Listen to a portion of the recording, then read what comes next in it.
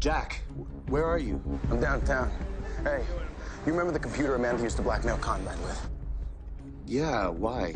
Well, I'm about to get my hands on it.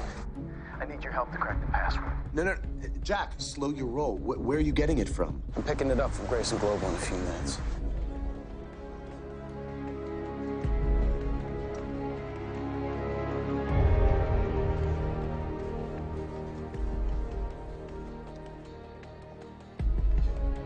I'm gonna bring that bastard down. We lost him. What is he talking about? I threw that computer in the ocean myself. Ems, we got a match. Gregor Hoffman.